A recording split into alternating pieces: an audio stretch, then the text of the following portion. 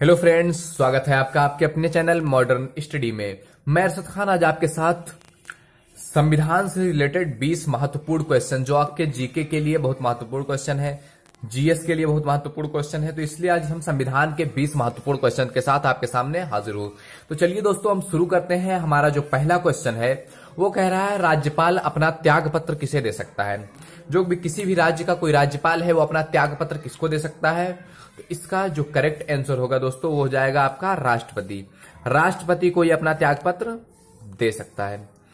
दोस्तों, अगर आपको आंसर पता है तो आप कमेंट बॉक्स में आंसर दे सकते हैं। इससे पहले कि मैं बताऊँ सेकंड जो आपका क्वेश्चन है, वो कह रहा है कि भारतीय राज्य में राज्यपाल की नियुक्ति कौन करता है? संघीय मंत्रिमंडल मतलब नियुक्ति कौन करता है? संघीय मंत्रिमंडल, उपराष्ट्रपति, प्रधानमंत्री या राष्ट्रपति?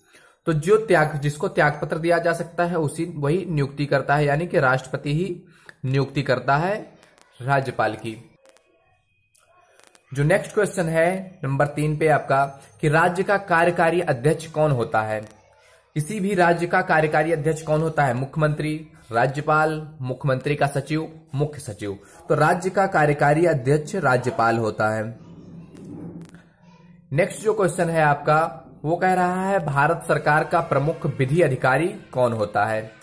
भारत सरकार का प्रमुख विधि अधिकारी कौन होता है? चार ऑप्शन है आपके पास। भारत का मुख्य न्यायाधीश, भारत के विधि मंत्री, उच्चतम न्यायालय का पंजीयक और भारत के महान न्यायवादी तो इसका जो ऑप्शन है, भारत के प्रमुख विधि अधिकारी वो होते हैं भारत के महान न्यायवादी अटॉर्नी जनरल ऑफ़ इंडिया जो कि इस समय आपके भारत के अटॉर्नी जनरल ऑफ़ इंडिया है के के वेणुगोपाल जो इस समय भारत के अटॉर्नी जनरल ऑफ़ इंडिया है। नेक्स्ट क्वेश्चन है आपका फिफ्थ नंबर पे, संसदीय शासन प्रणाली सर्वप्रथम किस देश में विकसित हुई? जो संसदीय शासन प्रणाली थी, वो किस देश में सबसे पहले विकसित हुई? ऑप्शन है आपके पास ब्रिटेन, फ्रांस, बेल्जियम, स्विट्जरलैंड। तो जो संसदीय शासन प्रणाली थी, वो सबसे पहले ब्रिटेन में विकसित हुई संसदीय शासन प्रणाली। नेक्स्ट जो आपका क्वेश्चन है, वो है लोकसभा में विश्वास मत प्राप्त करने से पहले त्याग पत्र देने वाले प्रधानमंत्री कौन थे? कि लोकसभा में विश्वास मत प्राप्त करने से पहले किसने त्याग पत्र दे दिया था? तो आपके पास दो प्रधानमंत्री के नाम दिए गए हैं, चौधरी चरण सिंह, अटल बिहारी वाजपेयी। उपर्युक्त तो दोनों या इनमें से कोई नहीं। चार ऑप्शन आपके पास हैं। तो इसका सटीक जो सही आंसर है, आपसे कई एग्ज़ाम्स में पूछा गया क्वेश्चन है। तो इसका आंसर है उपर्युक्त दोनों। चौधरी चरण सिंह और अटल बिहारी वाजपेयी दोनों ने ही त्याग पत्र दे दिया था विश्वास मत प्राप्त होने से पहले ही। हमारा नेक्स्ट क्वेश्चन है सेवन नंबर अभी तक पद पर रहते हुए कितने प्रधानमंत्रियों की मृत्यु हो चुकी है भारत में? भारत में प्रधानमंत्री का पद संभालते हुए कितने प्रधानमंत्रियों की मृत्यु हो चुकी है? तो इसका आंसर है आपका तीन। तीन प्रधानमंत्रियों की मृत्यु हो चुकी है कार्यकाल में ही। नेक्स्ट जो क्वेश्चन है आपका वो है भारत के प्रथम सिख प्रधानमंत्री। भारत के प्रथम सिख प्रधानमंत्री कौन हुए हैं? आपके पास ऑप्शंस हैं Manmohan Singh, S S Ahluwalia, Montek Singh Ahluwalia, captain Arvinder Singh. तो जो ये ऑप्शन आपका सही है, प्रथम सिख प्रधानमंत्री बने हैं आपके मनमोहन सिंह। नेक्स्ट जो आपका क्वेश्चन है, कह रहा है, प्रथम पूर्ण गैर सरकार कांग्रेसी प्रधानमंत्री। यानी कि पूरी तरह से बहुमत से बीजेपी के बनने वाले प्रधानमंत्री कौन थे? अटल बिहारी, वाजपेयी, मुरारजी देसाई, बीपी सिंह, चौधरी चरण सिंह। इनको कांग्रेस का सपोर्ट लेना पड़ा था प्रधानमंत्री बनने के लिए, लेकिन अटल बिहारी वाजपेयी पूर्णतया गैर कांग्रेसी प्रधानमंत्री बने। नेक्स्ट जो आपका क्वेश्चन है, वो है कि संविधान निर्मात्री सभा में झंडा समिति के अध्यक्ष कौन थे? जो जब बन रहा था संविधान, उसमें झंडा समिति के अध्यक्ष कौन थे? आपके पास ऑप्शंस हैं। J B Kripalani doctor Bhimrao Ambedkar K M Munshi Jawaharlal Nehru तो आपका जो सही आंसर है, इसका यह है जेबी कृपलानी जेबी कृपलानी बने थे झंडा समिति के अध्यक्ष। नेक्स्ट जो आपका क्वेश्चन है राष्ट्रीय झंडे की अभिकल्पना को भारत के संविधान सभा में ग्रहण किया गया कब? आपके पास ऑप्शन हैं चार जुलाई 1948, जुलाई 1950, जुलाई 1947 और अगस्त 1947। तो संविधान सभा में झंडे की अभिकल्पना को ग्रहण किया गया था जुलाई 1947 में। आपका करेक्ट आंसर है जुलाई 1946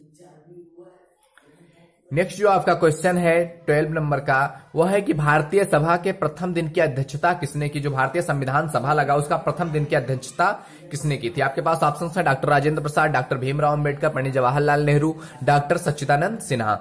लेकिन जो परमानेंट अध्यक्ष थे संविधान सभा के, वो तो डॉक्टर राजेंद्र प्रसाद थे। लेकिन पहले दिन जब अध्यक्षता की गई 9 दिसंबर उन्नीस को तो डॉक्टर सच्चिदानंद सिन्हा को टेम्परवरी प्रेसिडेंट बनाया गया संविधान सभा का। तो पहली अध्यक्षता पहले दिन के डॉक्टर सच्चिदानंद सिन्हा ने किया था। अगर पूछा जाए परमानेंट कौन थे तो परमानेंट डॉक्टर राजेंद्र प्रसाद थे। नेक्स्ट जो आपका क्वेश्चन है, वो कह रहा है कि भारतीय संविधान सभा में महिला सदस्यों की कुल संख्या कितनी थी? जो संविधान सभा बन रहा था, उसमें महिला सदस्यों की संख्या कितनी थी? आपके ऑप्शंस हैं दस, तेरह, बारह, पंद्रह। तो इसका जो सही आंसर है, वो है पंद्रह। पंद्रह थी महिलाओं की संख्या भारतीय संविधान सभा में। नेक्स्ट जो है वो है भारत को गणतंत्र क्यों कहा जाता है? ये मोस्ट इंपॉर्टेंट क्वेश्चन है कि ये आपको थ्योरी में भी आ सकता है कि भारत को गणतंत्र क्यों कहा जा सकता है।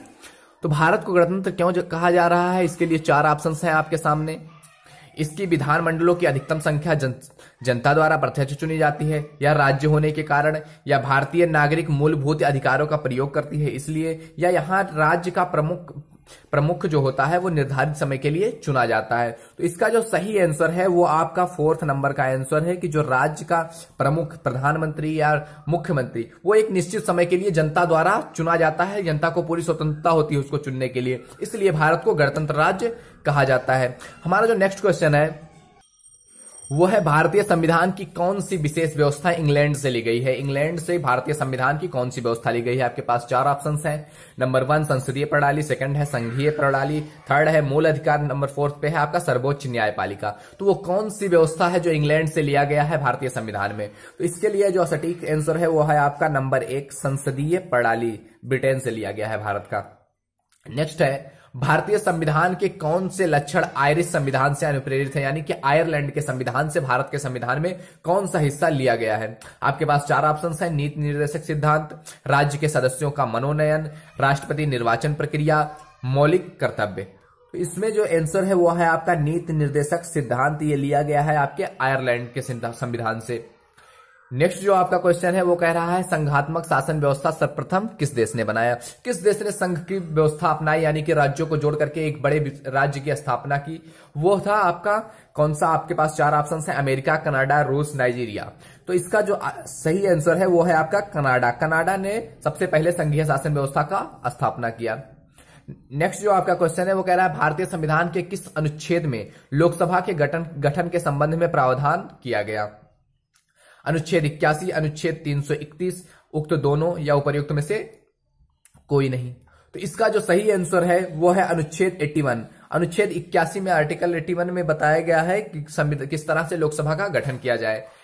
नेक्स्ट जो आपका क्वेश्चन है वो कह रहा है मूल संविधान में लोकसभा सदस्यों की संख्या कितनी निर्धारित की गई थी? जो जब संविधान बनाया गया तो उस समय लोकसभा के सदस्यों की संख्या कितनी थी? आपके पास ऑप्शन है 500, 530, 510, 525 तो जब संविधान बनाया गया, उस समय मूल जो संविधान में लोकसभा के सदस्यों की संख्या थी, वो थी 500 ये है आपका सटीक आंसर। और इस समय भारत में जो संविधान, लोकसभा है, उनकी अधिकतम संख्या कितनी हो सकती है? पाँच सौ बावन।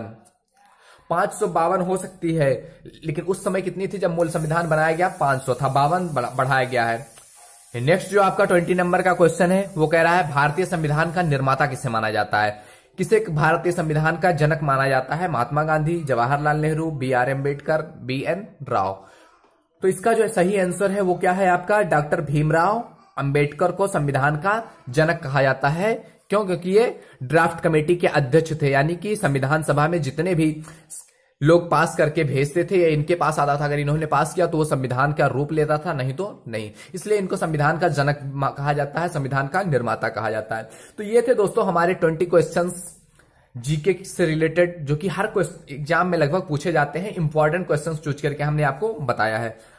आशा करते हैं आपको वीडियो पसंद आया होगा। अगर आपको वीडियो पसंद आया हो तो कमेंट में हमें ज़रूर बताइएगा। और अगर वीडियो पसंद आए तो लाइक भी ज़रूर कीजिए। हमारे चैनल पे अगर आप नए आए हैं तो सब्सक्राइब कर लीजिए। आपको ऐसी ही वीडियोस लगातार मिलती रहेंगी। वीडियो को अंत तक देखने के लिए आपका बहुत बहुत धन्यवाद।